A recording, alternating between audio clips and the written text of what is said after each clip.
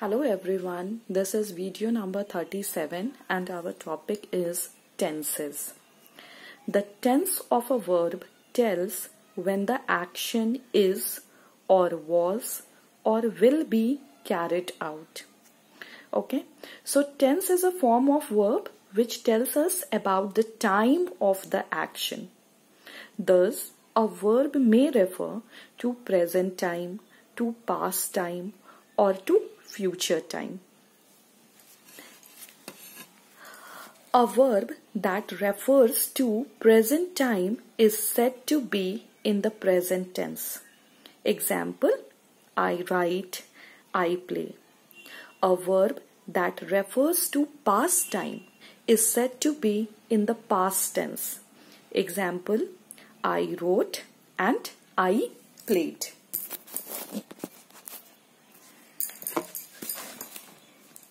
A verb that refers to future time is said to be in the future tense. Example, I will write, I will play. So these three tenses are further divided into three categories. Present tense, past tense and future tense. Okay, so now these three tenses that is present tense, past tense and future tense are further divided into three categories. Let's see. Simple present tense, present continuous tense, present perfect tense. For, for past tense in the same way we have simple past tense, past continuous tense and past perfect tense future tense for future tense we have simple fu uh, simple future tense future continuous tense and the future perfect tense. Now for understanding tenses, forms of verbs is very important. So let us see what are the five forms of verb. Okay, so first we have base verb. Base verb is also known as V1. Then the past form of the verb V2, past participle it is known as V3 and then we have ing form. It is known as V4 and S and ES form which is known as V5. Now see uh, we will try to understand this with the help of an example. V1 play. Past form of play is played that is V2 form. And then past participle played. V4 form playing. V5 form plays in the same way for go, V1, go, V2, the past form of go is went, past participle, gone, S and ES form, goes and ing form is going. Now we are going to see the structure of simple present tense and we will see the structure of all the tenses. So first we will start with simple present tense. Okay. Simple present tense. Now why simple present tense is used? What is the use of simple present tense? To express a habitual action. Example, I play football regularly. Or to express general truth. Example, the sun rises in the east. So simple present tense is used to express a habitual action or to express general truth. Now what is the format and what is the structure of simple present tense?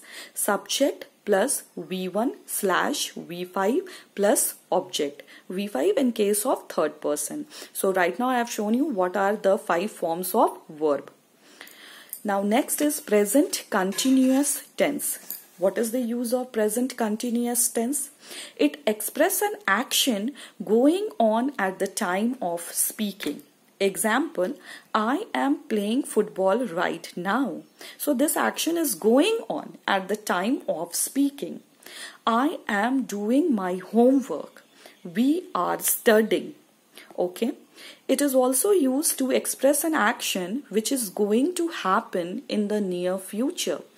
But one thing you have to remember that the time of action is mentioned over here. Example, I am going to the cinema tonight. See, the time of action is mentioned. My uncle is arriving tomorrow. Now, let's see what is the structure of the present continuous tense.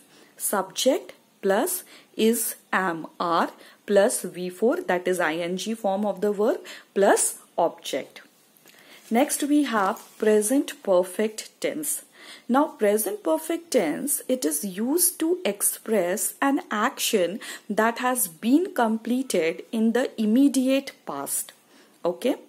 And uh, it is also used to, uh, it is also used for a recently completed action. Example, he has gone to office.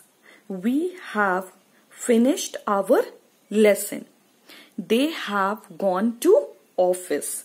He has just gone out. So you can see that it is used to express a recently completed action. Past action when the time is not given and not definite. So this is the second use of present perfect tense that it is used to express a past action when the time is not given and not definite. Example, I have done my work. Now here the time is not given and the time is not definite.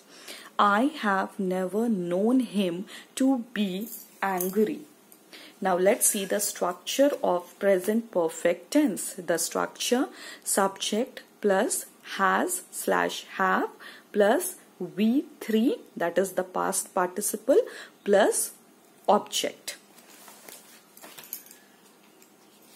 Okay, now next we have it is also used, present perfect tense is also then used to denote an action beginning at some time in the past and continuing up to the present moment, often with since and for phrase. Example, he has been ill since last week. I have known him for a long time. Past action, the result of which still persists. Example, I have cut my finger. What is the action that, what will be the result that will still persist? It means that it is bleeding now. I have finished my work. So what is the result of this action which will still persist? Means that now I am free. So this was present perfect tense. We have seen the uses of present perfect tense. The first use was that it recent it express a recently completed action. Second was that past action past action when the time is not given and not definite. And the third uses to denote an action beginning at some time in the past and continuing up to the present moment often with since and for. And the last one is past action, the result of which still persist. So this was all about present perfect tense. Now we will move to simple past tense. Simple past tense it express an action completed in the past. Example, she left school last year. I played football yesterday. And what is the format? The format and the structure is subject plus V2 plus object. Next we have past continuous tense. It denotes an action which began in the past and was still going on until some other action occurred. Okay, example I was playing football when you then arrived. So I was playing football when you arrived. And what is you can see that what it is written it denote an action which began in the past and was still going on until some other action occurred. So i began the action of playing football in the past and still it is continuing until the other action my arrival until until his arrival occurred. And what is the structure? Subject plus was and were plus V4 that is ing form plus object. So this is the structure of past continuous tense. Subject plus was slash where plus V4 plus object. Next we have past perfect tense. So let's see past perfect tense. Past perfect tense, it refers to an action that completed before any other action in the past.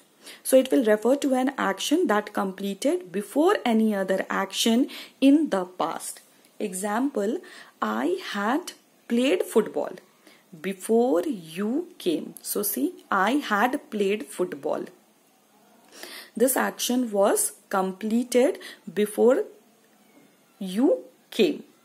And the structure will be subject plus had plus V3 plus object. Okay. Now we will move to future tense. Simple future tense. It refers to an action which will happen in future.